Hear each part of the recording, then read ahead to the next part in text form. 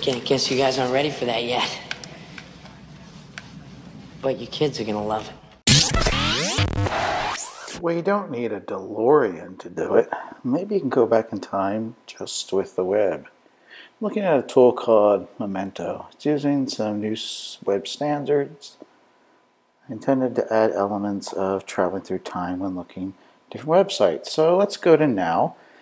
Look at a page. I used to work under the Maricopa Center for Learning Instructions. Is how it looks right now, but we'll dial it back and we'll see what happens if we say go back a few years to maybe around oh, uh, 2011 and you know it was after I had left there they were trying out some new designs and we can see how that that website looked and then just for some comparison Time magazine uh, today uh, some baseball stuff but if we go back to the same date using the memento tool uh, we can go back and um, perhaps see what uh, Time Magazine looked like in April of 2011, the same date.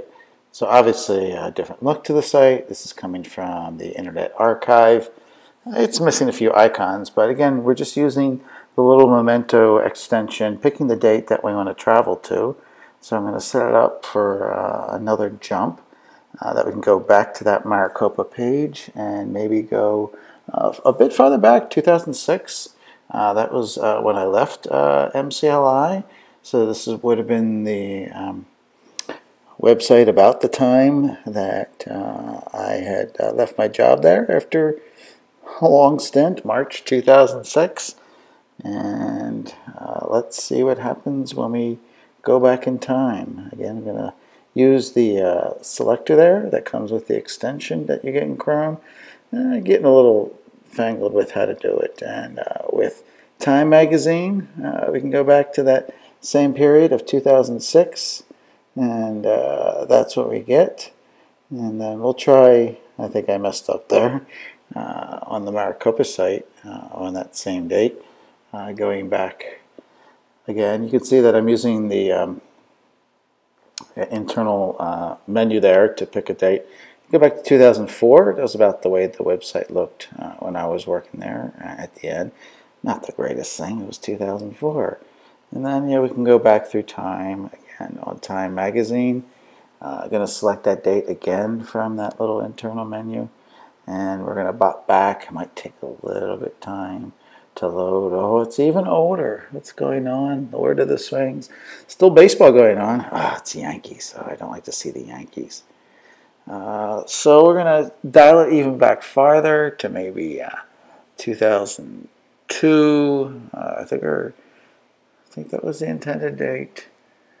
I didn't really get my controls that well done here, but 2002 of um, Maricopa site. Some, some little bit of changes. Was fooling around with uh, the header. Uh, later, I had little dynamic images popping up there. This is a slightly simpler version of uh, that same page. And if we're to uh, do again, uh, just for comparison, see what was going on Time Magazine, maybe in uh, January of 2002, uh, see what kind of news might be going on uh, back then. So I've dialed in the date with the extension, and then I select the date through the menu that I want to go to, and shaboom, we're talking about Enron. And now, you know, the website looking uh, definitely different in 2002 for time. Um, for the uh, Maricopa site, uh, I'm going to go back to, say, uh, uh, 2000. I think we're going to be in uh, maybe August of 2000. I don't even remember what I was doing then. Was I blogging? That's another time travel to go through. And I could do that very easily using this extension. So you just um, use the uh, tool and uh, much uh, kind of an in-between uh, site and trying to change the MCLI look. Pretty text heavy, not the greatest logo. Uh, for Time Magazine, going back to that same date in uh, August of 2002. It's like setting the time and then we activate through the contextual menu. And we'll go back a little bit earlier than Enron. And what are we going to hit for news in uh, August of 2000, waiting for the transformation to happen and activate. Man behind the myths, of course, Al Gore, long after he invented uh, the interwebs. And so we'll take it back uh, now in 1999, uh, before Y2K, you know, there was a world before then. And we'll dial in maybe uh, February 1999. Uh, do you know what you were doing then? Well, if you had a web page, maybe you could travel back through and see it. Uh, but here we go back to even a pretty crude version. Had that logo. That was actually our official logo. It was on the business card that I incorporated into the website. Uh, some artist did that. I don't know. So we take Time Magazine, see if they go back that far. You know, I'm pretty sure my sites go back farther than Time Magazine. Maybe I don't know, but we're gonna set it back uh, to go uh, into uh, that uh, time period of we're looking for February of uh, there we go.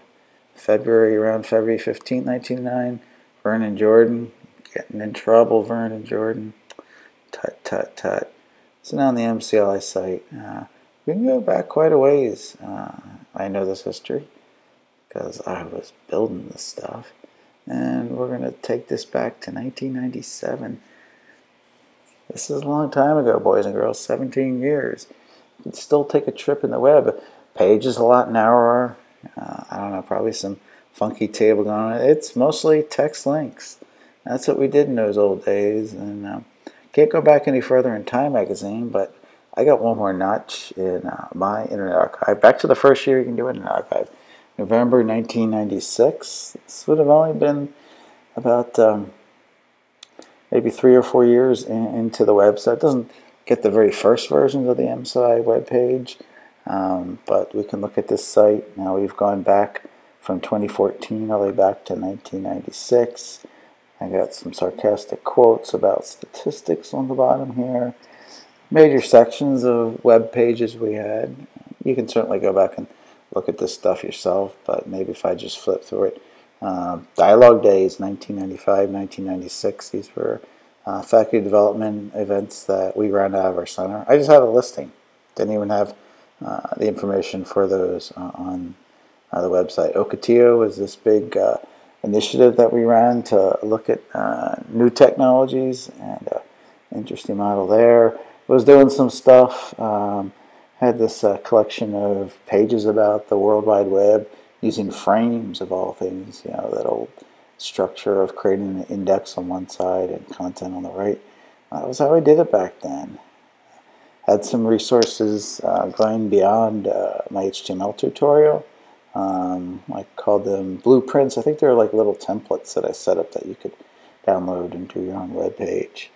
So web's eye view, bag URLs, you know, different ways. I was working to shoot. I was curating I was curating links. There's the Internet Archive in there. That's pretty interesting. Looking through the Internet Archive to get to the Internet Archive. A lot of the stuff that you get through Memento, of course, is through the Internet Archive because it's the biggest, but it's not the only resource. It does uh, hit a couple other um, web archive uh, spaces when it needs to. The Swiss, Swiss Web Knife was a sort of a general collection of resources. And uh, that's maybe it for my nostalgia trip. Try it yourself with uh, the Memento tool. It's kind of interesting. See ya.